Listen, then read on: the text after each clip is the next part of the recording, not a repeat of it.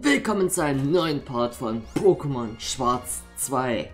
Ja, wir sind gerade in einem wilden Pokémon-Kampf Kampf rein, beziehungsweise ich bin da gerade aufs Skin rein.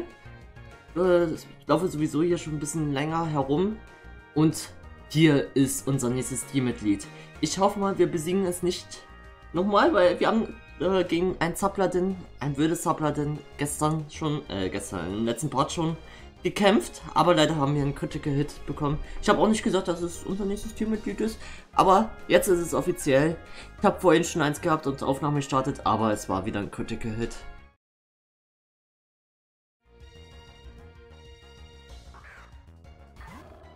Willkommen zu einem neuen Part von Pokémon Schwarz 2. Ich bin gerade ein bisschen herumgelaufen, schon ein bisschen länger.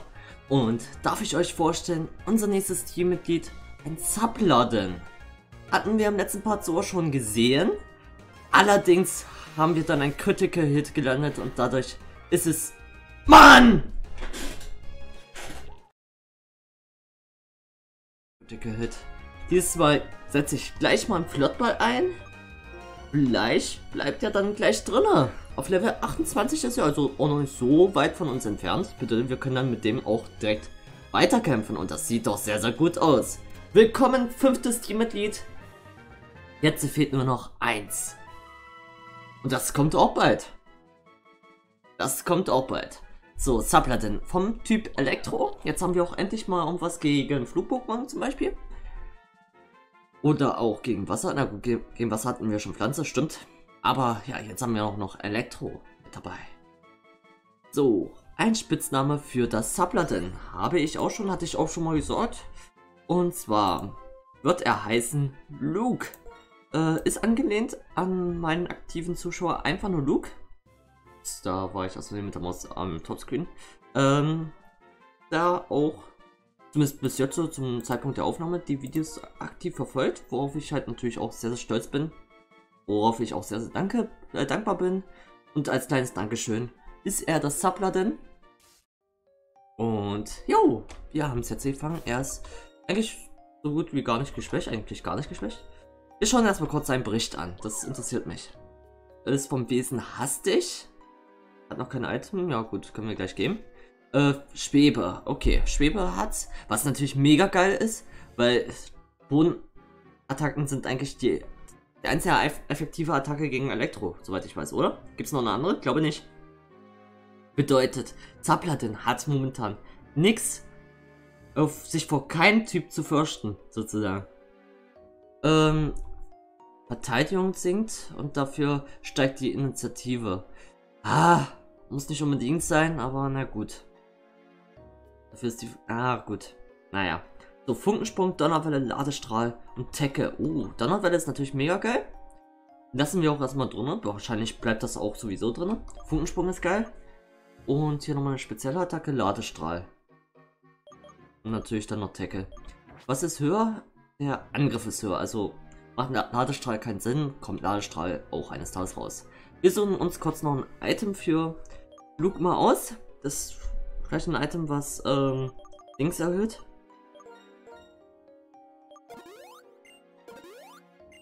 Elektroattacken.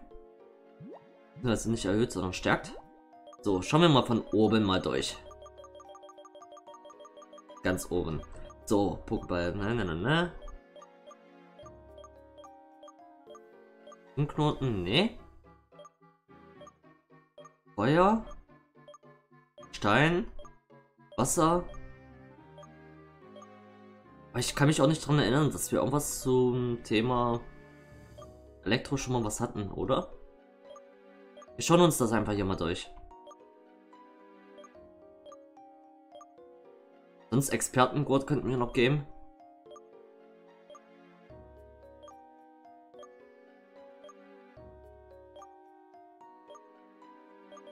Geben wir den, äh, geben wir Luke erstmal den Expertengurt. Stärkt sehr effektive Attacken, also von daher ist fast dasselbe. So, dann möchte ich Luke noch bitte auf der 1 haben, dass er halt auch erstmal trainiert wird. Eventuell müssen wir ihn anfangs erstmal mal auswechseln, aber ja. Es ist schön, endlich mal ein fünftes Teammitglied zu haben. Wir waren jetzt äh, schon wieder länger mit nur mit vier Teammitgliedern unterwegs. Und ja, jetzt können wir auch wieder einen Schutz einsetzen. Mist, die letzten, die, ich, wir hier noch haben. Fünf Stück haben wir noch. Das sind 1000 Schotter. Okay. Da ist der nächste Trainer. Ja, ich habe jetzt äh, auch wirklich ausgehend danach gesucht, weil die Häufigkeit von dem Zappleiten extrem gering ist. Ich war da sehr geschockt. Ich habe auch eine Weile gebraucht, das zu finden. So, ein Emolga. Ui, das ist natürlich jetzt sehr interessant. Level 30. Ja, ich, ich wechsle Luke noch aus. Das ist mir momentan noch einfach ein bisschen zu riskant. So, gegen Emolga, was kann man da machen? Setz mal Michelle ein. Flugattacken, äh, Elektroattacken sind überhaupt nicht wirksam, von daher. Ja, die Flugattacken, die könnten noch ein bisschen reinhauen. macht er da? Ach du heilige Scheiße. Komm, Michelle, du greifst als erstes an. Ja, setzt Doppelteam ein. Muss nicht unbedingt schlecht sein, muss aber auch nicht gut sein für uns. Aber wir treffen trotzdem wunderbar. Komm, Michelle. Ja, Volltreffer. Sehr schön. Super. Allerdings braucht Michael jetzt nochmal einen Supertrank. Ja, Emolga ist auch krass aus dem vollen Grund. Elektroflug. Dieser, diese Typkombination ist an sich schon sehr, sehr krass. Aber ich denke mal, mit äh, Luke sind wir auch sehr, sehr gut, wie gesagt, hier dabei. Durch Schwebe. Auch halt, besonders. So, Item mal einsetzen. Genau, dort oben gibt es bestimmt was. War schon klar.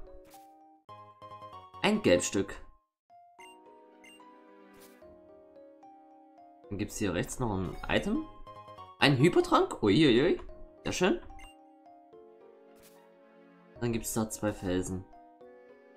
Das ist natürlich die Frage, wie muss man das dann da bewegen? Erstmal kämpfen wir gegen den Trainer hier. Ein Forscher. Ja. Ist ja klar, dass hier ein paar Forscher sind. Bei denen Steinen hier. Ein Pokémon. Was setzt da ein? Ein Magneton. Gut, da kann ich Luke jetzt eher weniger brauchen. Magneton selber vom Typ Elektro und als auch noch Stahl. Was kann man da einsetzen? Ich denke mal René. René kann was machen mit Aftyp. Ich hätte gerne... Oh, X-Angriff, okay. Ich hätte gerne ähm, Luke erstmal uh, äh, auf äh, Level 30, bevor ich wirklich aktiv mit ihm kämpfe. Es sei denn, es kommt irgendein Wasser- oder Flug-Pokémon. Oh, beide paralysiert. Lol. Okay, wir setzen mal Metallklaue ein. Ist zwar nicht sehr effektiv, aber sollte das Magneton auf jeden Fall besiegen, ja. Ach, fast Level 34 bei René. Jetzt brauchen wir erstmal kurz einen Paraheiler.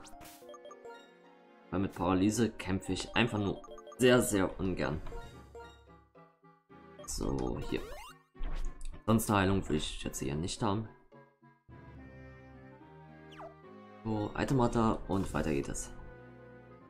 Wie viele Steine es hier gibt. Irgendwie müssen wir nach dort unten gelangen. Aber hier auch, das ist wieder ein Rätsel. Aber eigentlich kein schweres Rätsel das hier nach rechts schieben und dann sind wir am Item dran. Top-Schutz, wunderbar. So, dann geht's da oben weiter.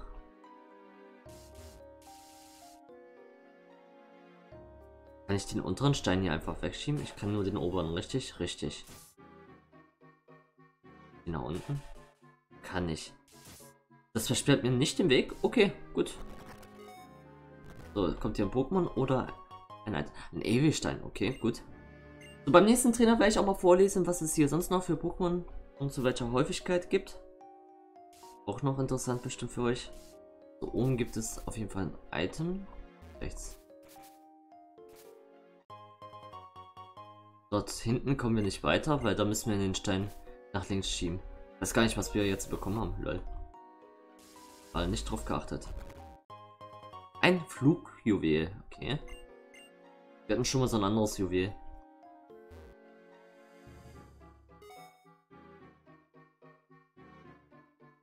Okay.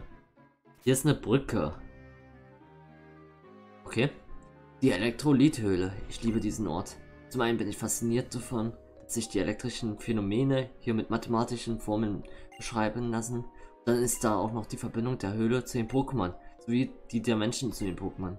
Für mich ist dies der ideale Ort. Ich muss aufbrechen, um die Pokémon zu retten. Ich muss der ganzen Sache ein Ende bereiten. Um meine Freunde beschützen. Okay. Wer war das? Weiß ich jetzt nicht. Ein Bonjuwel? Okay. Äh, das kann ich da unten verschieben. Hier dann durchzukommen. Hier ist der nächste Trainer. Gut, dann kommen wir mal zu den Pokémon, die man hier fangen kann. Auf jeden Fall wird das sehr interessant, weil hier gibt es verschiedene sehr gute Pokémon. Und zwar äh, im Erdgeschoss und im Untergeschoss 1. Wir sind momentan wahrscheinlich im Erdgeschoss noch, also bis jetzt hat sich hier noch nichts geändert. Wow! Ein Dreierkampf! Geil! Okay, okay. Ich weiß jetzt gar nicht, welche Pokémon. Luke, Michelle und Jonas. Okay. Ah, Michelle hätte ich lieber ganz links oder ganz rechts gehabt. Weil dann hätten wir Dampfwalze einsetzen können. Okay. Ähm, ja, machen wir erst später die Pokémon, weil jetzt kommt hier ein Dreierkampf. Da muss ich mich jetzt darauf konzentrieren. Ähm, Funkensprung auf das Fasersnob. So, Michelle setzt äh, Schaufler. Nee, nee, setzt nicht Schaufler ein. Setzt Steinhagel ein, trifft alle drei. Jonas setzt Laubklinge auf das Sandama ein. Kommt, das schafft ihr. Okay, Sandama wird schon mal getroffen als erstes. Überlebt aber. Was ist noch? Setzt Verhöhner ein. Auf Luke. Und Jonas. Nee, das Sandama vergibt sich in der Erde. So, Punkensprung auf das Wassersnap. Ah, schade, macht nicht ganz so viel Schaden. Aber es ist jetzt so äh, langsamer und paralysiert halt. Komm, Michael, jetzt musst du noch deinen Steinhagel. Ach, ja, na gut, geht wenigstens auf das richtige Pokémon. Gut. Irgendwer wird vom Schaufler getroffen. Ich weiß nicht, wer das sein wird. Auf jeden Fall macht Luke nochmal Funkensprung auf das Fasersnap. Dann wird Michel Schaufel auf das äh, Sandama einsetzen und Jonas hm, kann leider momentan nichts machen. Macht mal Wachstum.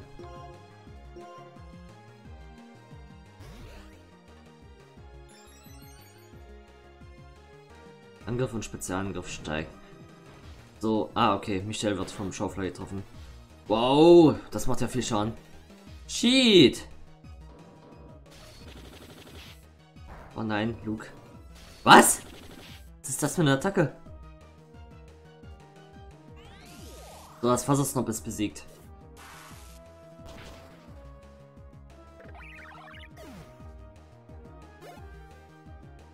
Luke hat immer noch kein Level.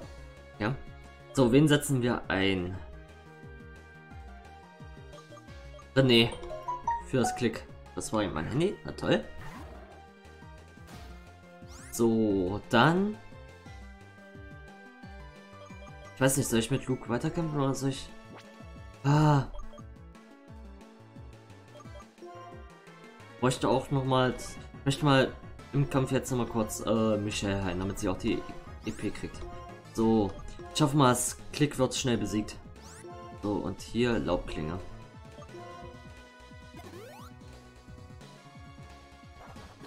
Komm, komm. Besiegt, besiegt. Aber paralysiert. Vielleicht greift es nicht an. So, das dann damals weg. Aber jetzt muss ich auf Glück hoffen, dass das dass Luke nicht stirbt. Level 29 schon mal. Wunderbar. Level 34 für René. Wir laufen die EP. Autonomie. Das ist doch die Attacke von eben. Nee, ist es nicht. Sehr schön. So, dann alle drauf da auf dieses blöde Klick. Ja gut, und Jonas kann nichts machen. Er setzt wieder Wachstum ein. So, ein sehr schöner Dreierkampf. Ich habe damit überhaupt nicht gerechnet, dass jetzt hier ein Dreierkampf drankommt. Aber ich find's geil. Ich find's geil. Wir hatten bisher nur einen Re Dreierkampf. Obwohl, Moment mal, das war unser erster Dreierkampf, oder nicht? Wir hatten schon mal einen Reihumkampf, aber noch keinen Dreierkampf. Stimmt. Ja, geil. Das ist so überraschend. So, ich brauche auf jeden Fall nochmal ein paar Supertränke. Einmal für Luke und einmal für Michelle. So, Luke ist schon mal Level 29. Ja, äh, konnte ich wie gesagt jetzt nicht die Pokémon vorlesen, weil... Ups, das war der falsche. Geil. Gehe jetzt immer kurz hier runter und wieder hoch, weil ich habe den falschen Stein bewegt. Hätte den hier werfen müssen, damit ich hier hinten an das Item rankomme. Ein Magnet. Magnet, das könnte Elektroattacken verstärken. Das weiß ich jetzt aber nicht. Daher schaue ich mal kurz nach. Ja, nice. Gerade nach so einem Item gesucht. Jetzt haben wir es. So, austauschen, genau. Weil dann sind Elektroattacken immer stärker. Bei Exper beim Expertengurt ist das ja nur bei Attacken, die sehr effektiv sind.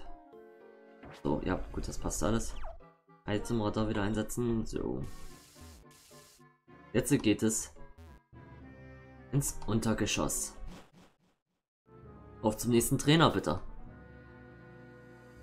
Da, ein Doppelkampf anscheinend. So wäre es vorne Michelle und Luke. Ja, die beiden sind auf jeden Fall ein sehr gutes Team aus dem vollen Grund. Michelle kann dann Kampfwalze einsetzen. Und das trifft ja Luke nicht, aber das scheinen keine Trainer zu sein. Tach, ich bin Nugget Senior. Und ich bin Nugget Junior. Schön, dass du hier bist. Ich habe hier was für dich. Ein Nugget. Ja, von mir bekommst du auch was. Ein riesen Nugget. Alter, das ist sehr, sehr, sehr viel wert. Das ist ein Nugget, weiter.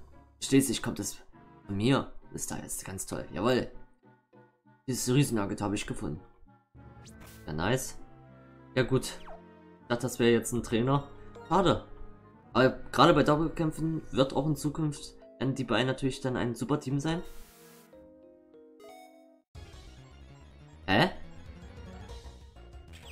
Aber wahrscheinlich sind wir zu wenig gelevelt. Ja. Komm. Du kannst flüchten. Ja, wunderbar. Geht's dann auch wieder hoch? Hä? Da soll es ein Item geben, aber ist nicht. Dann nicht. Was ist denn hier? Uh, auch nochmal ein paar Trainer. Oder? Was für schöne Steine das sind das sind. Wie, äh, wie gerne will ich mein Zimmer mit diesen Schmuckstücken dekorieren. Ich werde mich hier niederlassen. Dies wird mein Haus sein, wenn ich stets von meinen schönen Steinen umgeben bin. Hä? Hier ist der nächste Trainer. Ja gut, keine Ahnung, wo es hier lang führt. Wir werden auf jeden Fall noch die anderen Wege erkunden. Jetzt habe ich erstmal die Chance, äh, die Pokémon vorzulesen. Und zwar jetzt im Erdgeschoss und im Untergeschoss 1 findet man äh, zu einer Häufigkeit von 10% ein Nasknet, äh, zu 5% ein Sedimantur, zu 39% ein WhatsApp, zu 20% ein Castadur, 24% ein Klick und jetzt kommt's zu 2% Zapladin. 2%. Zu einem Ampharos, ja gut, auch von Typ Elektro. Äh, da Michel. Ich hoffe, er wird eine Elektroattacke einsetzen.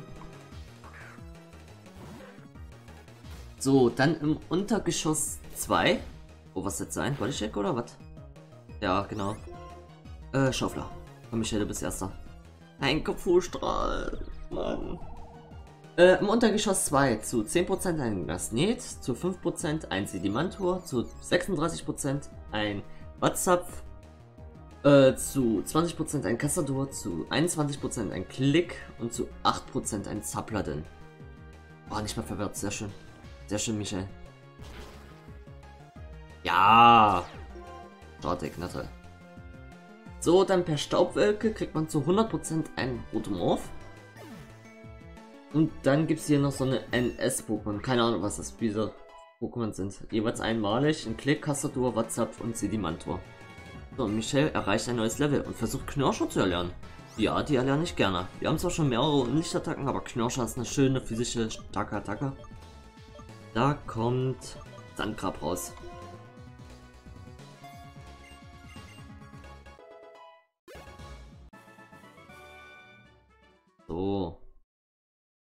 Immer noch keine Entwicklung. Hier für dich. Machen wir. Warte auf eine Entwicklung bei Michelle. So, unten gibt es noch ein Item, aber vorher möchte ich nochmal einen Superschutz einsetzen. Oder Supertrank, nee. Superschutz und ein Paraheiler. Nein, Paraheiler, sagte ich. Ich hoffe mal, das führt hier zu einer Sackgasse, weil...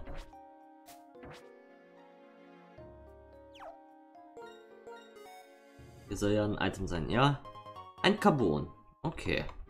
Da geht's jetzt wieder zurück.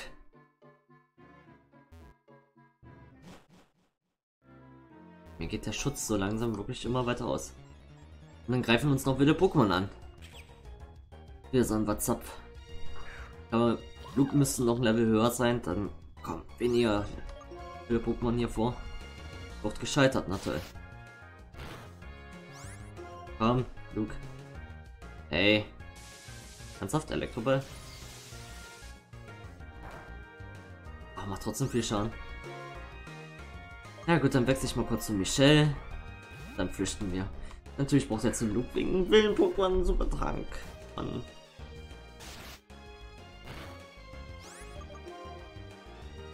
Ey! Dann Dampfwalze ist mir jetzt scheißegal. Dann wirst du halt jetzt hier besiegt, wenn du es nicht anders haben willst. Ja, ist klar. Ist klar. Na, schau hier.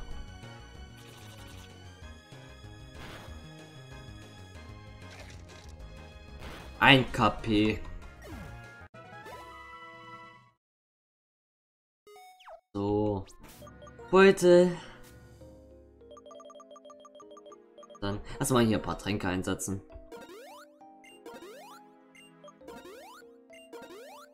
Ja, und, unsere Tränke mal aufbrauchen, weil ich werde in Zukunft, denke ich mal, eher weniger Tränke kaufen und wenn, dann nur ganz wenige. So, ich muss mal kurz schauen, wie lange wir schon aufnehmen. Okay, der Part ist bald vorbei, aber noch nicht jetzt. Ich möchte Luke halt auf den ersten Platz nicht auswechseln. Ja, jetzt kommt schon wieder sonst. WhatsApp, ach man. Ah, ich wechsle gleich aus und wechsle dann wieder zurück zu Luke, wenn ein Trainer kommt. Solange bleibt Michelle immer vorne.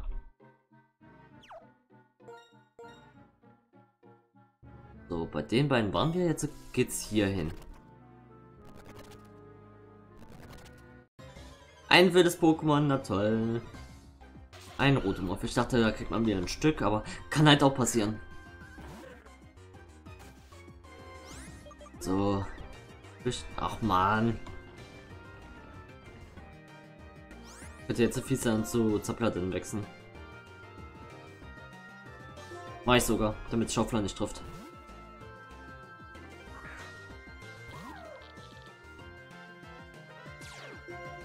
Vielleicht kriegt das Sublatin auch selber hin. Ah ne, wir hatten ja Knoscher bei Michelle erlernt, nicht bei, bei Sublatin. Da komm Jonas, dann komm du mal nach vorne.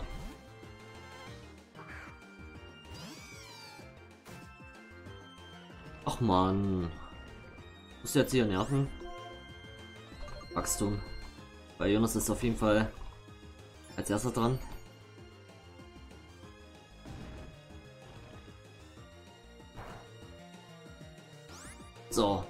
Laut das wird es auf jeden Fall besiegen, da wir ja auch unseren physischen Angriff erhöht haben. Bei Treffer sogar noch, also der wurde so richtig zerstückelt. Gut, jetzt möchte ich aber hier keine wilden Pokémon mehr, weil ich möchte jetzt noch einen Trainerkampf. Und hier ein Item, ein Hyperball. So, da ist ein Trainer. Äh, kurz wechseln zu Zaplatin, zu Luke.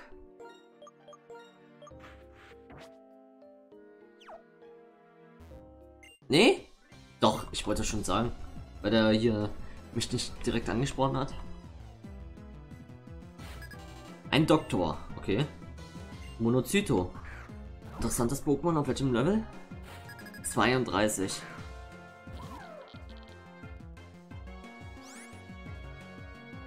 Hm, ich weiß gar nicht, von welchem Typ Monozyto ist. Aber ich wechsle lieber, weil es ist auf Level 32 einfach. Viel zu krass. Komm, Jonas, du.